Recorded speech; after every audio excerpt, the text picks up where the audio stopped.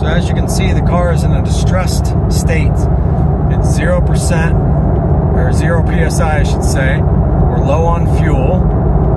We've driven approximately uh, 50 miles since when the tire blew this morning. Uh, we're probably crossing the 50 mile mark right now as we speak. And uh, just traveling along at 60, you know, 70 miles per hour Front right tire is completely flat. These are on the carbon fiber wheels.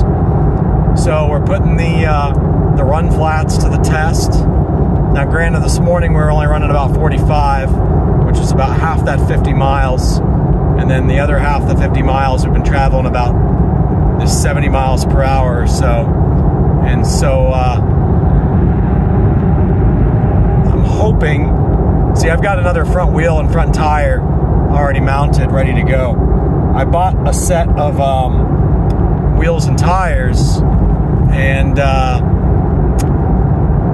the front left one, one of the front wheels I broke twice, and then the other one I, I haven't broke once. And so the one that I haven't broke once, that's got the old original tire, so it's got a 34,000 mile tire on it. So that's why it's now worn out and the other three are fine because the other three tires are all newer tires. So I was waiting for that one to go bad and usually I, I, go ahead and replace them all at the same time, but my luck, I was like, if I replace it, I'm liable to crack my, uh, my other wheel and I'd rather not have to mount and dismount this other tire. I'd rather use this tire up and see if I coincidentally crack this wheel while I'm using this tire up. So I knew this tire was gonna eventually blow. So the lesson here is, you guys know how fast I drive cars. I got 34,000 miles out of a set of tires on a C8 Z06, you see? Uh, because I run 34, 35, 36 PSI uh, when the tires are warm, when I'm driving down the road. Um, the reason why the back tires are so full right now is because the one back wheel is cracked. It's got a slow leak in it. Actually, I think both back wheels are cracked and they have slow leaks.